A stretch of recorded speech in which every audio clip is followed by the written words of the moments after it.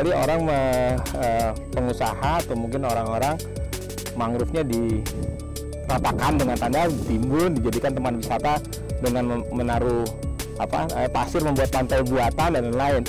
Itu sam- eh, bertentangan dengan eh, apa namanya kelestarian lingkungan sebetulnya. Dengan adanya kita kasih percontohan ini di, di tempat mangrove ini kita bisa wisata kayak seperti ini gitu di tempat yang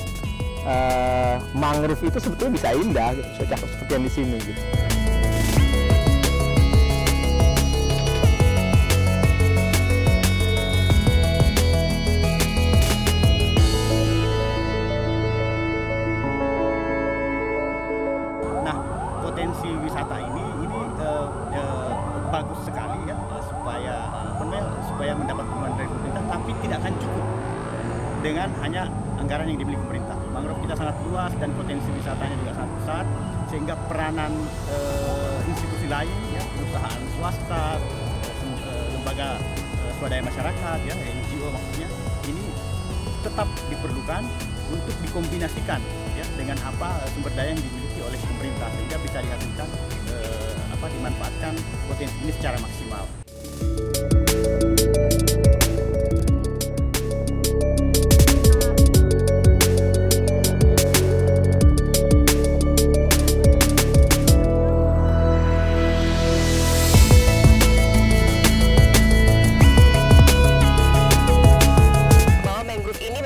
Unik ya secara ekosistem. Ini ini ini eh, tumbuhan yang cukup unik.